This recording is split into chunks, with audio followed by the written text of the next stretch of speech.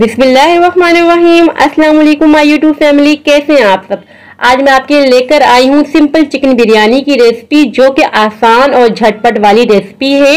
आज की recipe specially उन सब के लिए है जिनको खाना पकाना बिल्कुल भी नहीं आता, या फिर वो बच्चे, वो बच्चियाँ जो हॉस्टल्स में रहते हैं, वो अच्छी और मज़ेदार घर की बिरयानी खाना चाहते हैं तो ये रेसिपी ज़रूर देखें।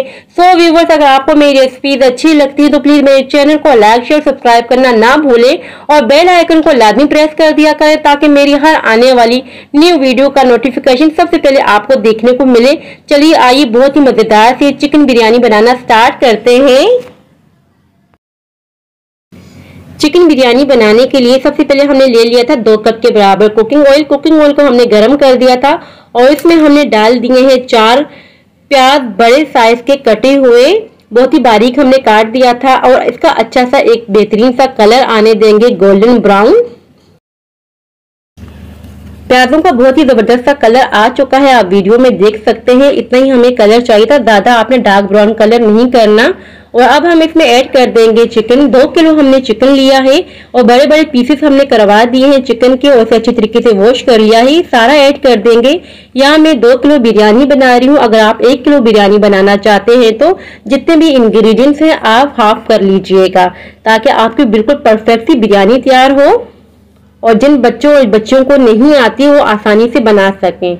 और अब हम इसमें ऐड कर देंगे फ्रेश लहसुन अदरक का पेस्ट फाइव टेबल स्पून के बराबर। अगर आप एक किलो की बिरयानी बनाना चाहते हैं तो two and half tablespoon के बराबर अदरक लहसुन का पेस्ट ऐड कर लीजिएगा। यहाँ मैंने फाइव टेबल स्पून के बराबर अदरक लहसुन का पेस्ट ऐड कर दिया है। अच्छी तरीके से हमने मिक्सिंग करनी है। पाँच से छह मिनट तक अच्छी तरीके से भुनाई करेंगे अदरक लहसुन के पेस्ट के साथ। तीन से चार मिनट तक हमने अच्छी तरीके से भुनाई कर दी है चिकन की। चिकन का कलर चेंज हो चुका है, आप वीडियो में देख सकते हैं। और अब हम इसमें ऐड कर देंगे टमाटर कटे हुए। या मैं एक किलो टमाटरों को ऐड कर रही हूँ, क्योंकि टमाटर थोड़े सस्ते हैं। अगर टमाटर महँगे हो जाएँ तो आपने क्या करना है दही का ज़्यादा यूज़ करना है। अच्छी तरीके से मिक्सिंग करते जाएँगे। वैसे जब भी मैं बिरयानी बनाती हूँ तो टमाटरों का ज़्यादा ही यूज़ करती हूँ तो टमाटर आपने अपनी मर्ज़ी के मुताबिक ऐड कर देने हैं। और यहाँ हमने ले लिया है एक कप के बराबर योगर्ट, यानी कि दही इसे अच्छी तरीके से बीट कर देंगे। और अब हम इसमें ऐड कर देंगे biryani masala six tablespoon के बराबर। ये होममेड है, इसी के साथ हम ऐड कर देंगे वन टेबल स्पून के बराबर कुटी हुई लाल मिर्चें one and half tablespoon के बराबर सफ़ेद जीरा। इसी के साथ हम ऐड कर देंगे हाफ़ टेबल स्पून के बराबर हल्दी पाउडर नमक ऐड कर देंगे one and half tablespoon के बराबर। आपने अपने हिसाब से ऐड करना है जितना आप यूज़ करते हैं।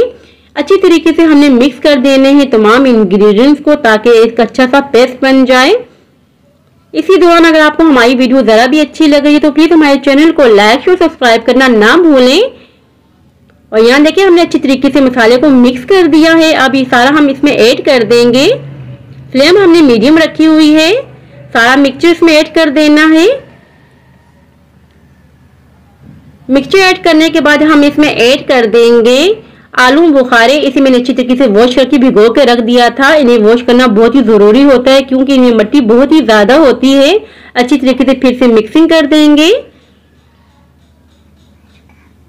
ये बिरयानी बहुत ही मज़ेदार बनती है और बहुत ही सिंपल बिरयानी है। जिन बच्चों को कुकिंग करना बिल्कुल भी नहीं आती तो बहुत ही आसानी से ये बिरयानी बना सकती हैं।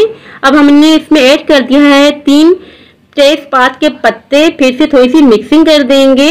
लेड लगा देंगे और मीडियम फ्लेम पर पकने के लिए छोड़ देंगे तकरीबन 10 मिनट के लिए। और यहाँ देखिए 10 मिनट हो चुके हैं। लेड हम हटा देंगे। और अब हम इसमें ऐड कर देंगे आलू। आलू को मैंने बॉईल कर दिया था। हल्दी पाउडर डाल के 80 परसेंट तक मैंने बॉईल किया था। अच्छी तरीके से मिक्स कर देंगे और लेड लगा के इसको रख देंगे तकरीबन पाँच मिनट तक। लो फ्लेम पर ताकि आलू में जितनी कसर है वो कंप्लीट हो जाए। यहाँ तकरीबन पाँच मिनट हो चुके हैं। लिड हम हटा देते हैं। आप देख सकते हैं बहुत ही बेहतरीन सा कौरमा तैयार हो चुका है चिकन बिरयानी के लिए। चिकन देखिए अच्छी तरीके से फूल चुका है। इसका मतलब है कि अच्छी तरीके से टेंडर हो चुका है चिकन बिल्कुल परफेक्टली कुक हो चुका है। अब लेट लगा देंगे और उसे साइड पे रख देंगे और अब हम नेक्स्ट प्रोसेस स्टार्ट कर देंगे फ्लेम बंद कर देंगे। यहाँ हमने पानी बॉईल करने के लिए रख दिया था। अच्छा खासा हमने बड़ा पतीला लिया था और खुला पानी लिया था और इसमें सिर्फ़ मैंने नमक ऐड किया है थ्री टेबल स्पून के बराबर। और यहाँ हमने चावलों को भिगो के रख दिया था, तकरीबन एक घंटे के लिए अच्छी तरीके से वॉश कर लिया था। चावल बहुत ही अच्छी क्वालिटी वाला हमने ले लिया है बिरयानी के लिए। सारा पानी इसमें निकाल देंगे और ये बॉयल पानी में डाल देंगे। चावलों को हम बॉयल पानी में डाल देंगे और 80 परसेंट तक हमने चावलों को बॉयल करना है। यहाँ देखिए चावल 80 परसेंट तक बॉयल हो चुके हैं। और साथ ही हमारा बहुत ही बेहतरीन सा कौरमा भी तैयार हो चुका है, जो आपके सामने हमने तैयार किया है। एक बड़ा सा पतीला ले लेंगे, जिसमें हम लेयरिंग करेंगे कौरमे और चावलों की। सबसे पहले हमने इसमें डाल देंगे कौरमा, जो हमने बना के रखा हुआ था। यहाँ देखिए, हमने थोड़ा सा कौरमा ऐड कर दिया है। सबसे पहले अब हमने बॉयल चावल इसमें ऐड कर देने हैं। बॉयल चावलों की लेयरिंग कर देंगे इस तरह से। फिर से हमने कौरमे की लेयरिंग करनी है। और काफ़ी सारा हमने पुदीना इसमें ऐड कर देना है। ये मैंने अच्छी तरीके से वॉश करके रखा हुआ था साफ़ सुथरा करके रखा हुआ था। जब भी आप बिरयानी बनाएँ ना तो पुदीने का लाजमी ही आप यूज़ करें। बहुत ही ज़बरदस्त सी खुशबू आती है। इस तरह से हम लेयरिंग करते जाएँगे बेहतरीन सी। और यहाँ देखें, हमने अच्छी तरीके से लेयरिंग कर दी और जितना भी बचा हुआ कौरमा था, सारा इसमें ऐड कर देंगे।